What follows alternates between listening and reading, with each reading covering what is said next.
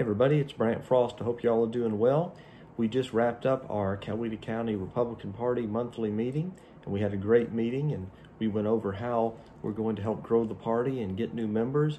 We're going to be going out and talking to folks who have been strong supporters of good conservative candidates and have donated to them. We've got a list of folks who have donated to President Trump, to Herschel Walker, and many other Republicans in our county. And we're doing training this week, and we're going to do training going forward, training folks about how they can go out and talk to folks and bring them into the party, invite them to meetings, and we're going to have a bunch of great opportunities for and uh, visitors for visitors to join us, and also for membership perks that we're going to have for our local parties. A lot of really exciting stuff happened in our meeting today. A lot of great training, a lot of great uh, feedback and brainstorming, and it was just a great meeting all the way around. Look forward to seeing y'all again soon. I appreciate it, and we'll talk to you soon.